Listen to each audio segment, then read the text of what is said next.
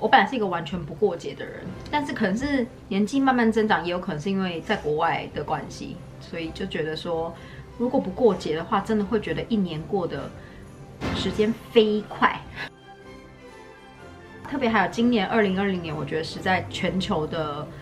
氛围都不是很好的状况之下，然后我们家也也也会，我们家也因为就是韩国的疫情一直。停不下来，所以在关在家里面的时间变长了以后，我也觉得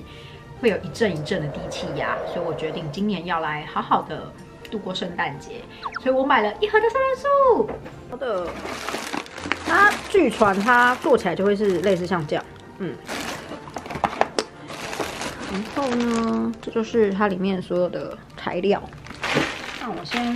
拿出它的说明书来。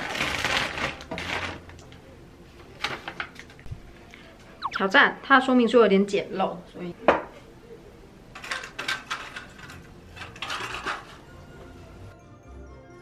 其实我光想它到底要放什么位置挂那个树梢，我就搞了很久。拿出这个木条。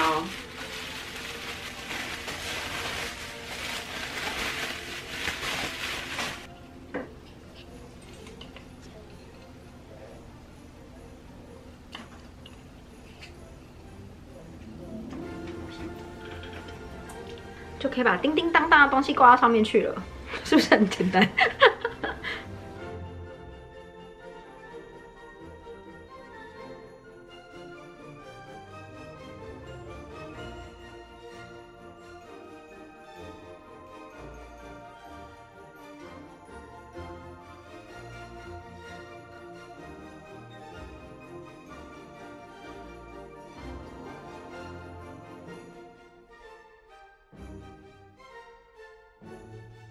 它里面可以挂在上面的大部分都是市面上其实就很简单可以买到的一些挂饰，所以如果你有办法自己拿到木头的话，其实自己也有可能在家里就手工做一颗，只要去买挂饰就好。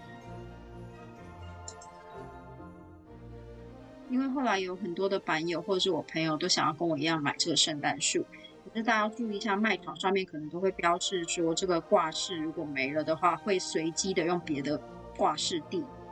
所以你有可能拿到挂饰跟照片上不一样，或是拿到很丑的挂饰，这都要注意。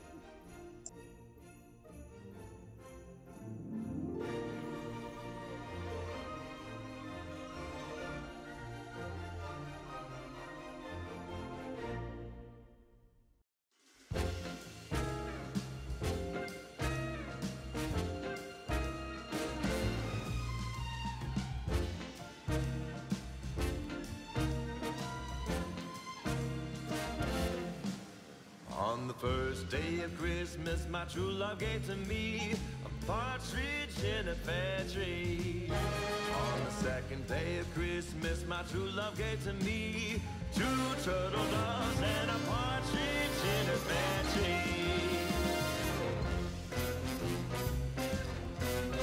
On the third day of Christmas, my true love gave to me three French hens,